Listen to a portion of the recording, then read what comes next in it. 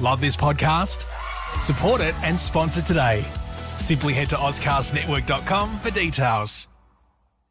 Auscast. Kids.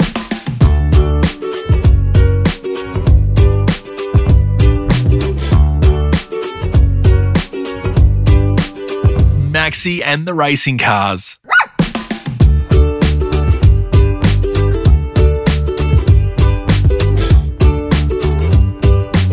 Once upon a time, there was a cute little puppy named Maxy.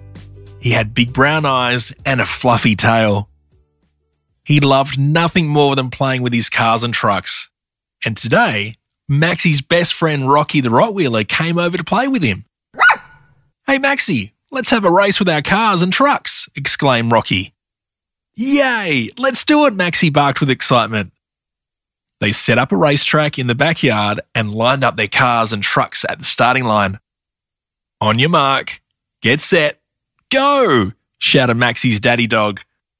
Maxy and Rocky the Rottweiler's cars zoomed around the track, but Maxy's truck kept getting stuck in the mud. Oh no, my truck is stuck, cried Maxy.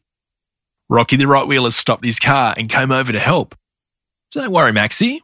We can fix this.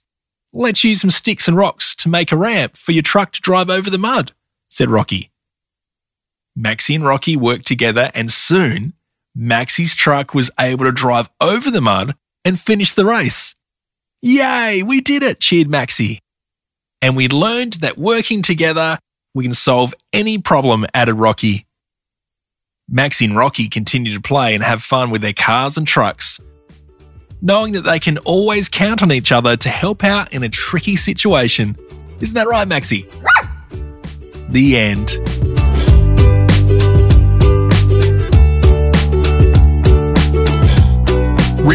Spoken, and produced by me, Andy Martin. Music by Rex Banner. A Podmate production for the Auscast Network. Auscast. Kids. Love this podcast? Support it and sponsor today. Simply head to AuscastNetwork.com for details.